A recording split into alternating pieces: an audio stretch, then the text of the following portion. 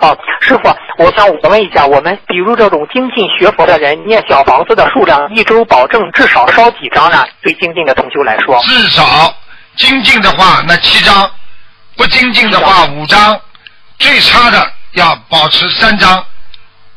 哦，那师傅你说的这个精进呢，七张七张就是包包含着保平安的小房子，就是在这七张里边。是这样吧？一，每天一张。哎。